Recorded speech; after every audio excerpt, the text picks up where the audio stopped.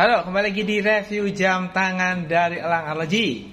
Di depan saya ini sudah ada jam tangan dari SWAT. Inilah SWAT seri GW 130 ya kalau nggak salah ya. GW 210, hahaha lupa. GW 210 dengan hmm, tampilan model seperti ini. Inilah SWAT yang new gen ya.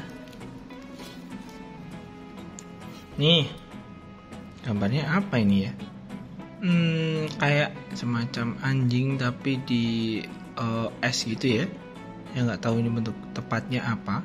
Kayak anjing yang di salju-salju gitu loh. Apa namanya ya?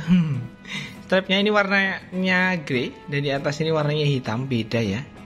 Beda terus ini bahannya rubber yang elastis banget tuh.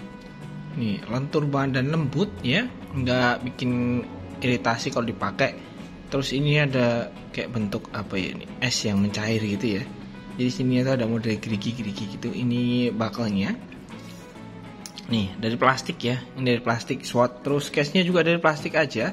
Ini di print gambarnya itu sampai keluar dial. Ada tulisan SWOT Swiss. Karena ini jamnya pakai enggak pakai detik ya. Jadi enggak kelihatan gitu ya detiknya. Tuh ini dialnya tuh cakep banget gambarnya. Anjing di es gitu ya. Apa ya? Serigala atau apa ya? Bukan tapi ini kayaknya anjing gambarnya bukan serigala. Anjing sih ini. Ada lidahnya kemudian mulutnya ada hidungnya.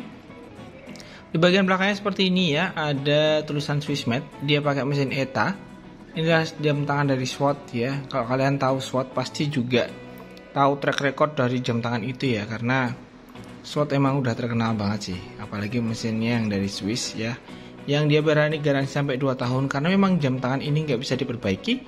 Jadi jam tangan ini kalau rusak itu diganti baru teman-teman ya. Jam tangan ini kalau rusak diganti baru bukan diperbaiki gitu. Jadi kalau mau dipakai ya apa kalau dua tahun gitu kalau misal belum sebelum 2 tahun kalian mau klaim garansinya bisa banget gitu. Misal kemasukan air terus kemudian ininya apa uh, jarumnya ini lepas itu bisa banget. Kalau kalian sampai kejadian kayak gitu itu bisa banget diklaimkan garansi. Karena SWOT mengcover semuanya garansinya ya termasuk ngembun kemudian kalau baterai enggak ya. Kalau kacanya ini kan terbuat dari plastik jadi mungkin resikonya cuma baret aja. Kalau strapnya ini gampang banget. Kalian tinggal cari aja SWOT ya. Itu strapnya banyak banget. Dan gantinya pun juga gampang banget. Kalian tinggal cari aja paper clip gitu kayak yang uh, SIM injector gitu ya. Jadi kalian tinggal masukin aja ke sini terus dipukul gitu sedikit dia bakal keluar terus tinggal dilepas eh, uh, aja ininya. Ini tuh bisa diganti-ganti asal ukurannya sama ya. Ini kan SWOT punya dua ukuran aja yang yang buat cowok dan yang buat cewek. Ukurannya ini di 3,4 cm dengan ketebalan jam ada di 0,9 ya masih sama seperti SWOT yang lain ini buat cewek itu. Kalau dipakai di tangan kurang lebih seperti ini, ini cakep banget dan lucu banget gitu ya. Harganya di 949.000 itu harga belum diskon. Jadi jam tangan yang garansinya 2 tahun ini itu harganya di 949.000 itu harga belum diskon. Jadi kalau jam tangannya rusak sebelum 2 tahun, jam kalian bakal diganti baru.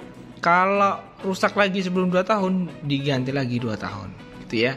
Jadi yang baru itu gak bakal garansi lagi 2 tahun sampai benar-benar 2 tahun itu nggak ada kerusakan. Bayangin aja. Keren banget gak sih? Dapat box kayak gini ya. Ini boxnya uh, ada kartu garansi sama manual book nih. Ini manual booknya, ini kartu garansinya, gede banget. Kalau tak tarik ini bakal keluar tuh. Ini adalah kartu garansi dan ini adalah manual booknya. Nih manual booknya segede ini loh. Nih, ini manual booknya gede banget tuh. Nih, gede banget. Cakep tuh. Oke. Jadi buat kalian yang pengen dapat jam tangan ini, gampang banget. Gimana caranya? Kalian tinggal WA aja ya. Nomornya udah ada di bawah ini, barangnya ready di toko ya. Garansi 2 tahun ya, harganya murah under 1 jutaan, udah garansi 2 tahun. Gimana lagi kalau kalian nggak dapat jam tangan SWAT itu? Dari Swiss. Langsung aja WA nomor di bawah ini atau langsung ke deskripsi kita di sana sudah ada marketplace kita langsung ke Shopee, Tokopedia dan Bukalapak. Sampai jumpa di review video selanjutnya. Jangan lupa like video ini, subscribe yang belum subscribe karena kita bakalan upload video setiap hari. See you.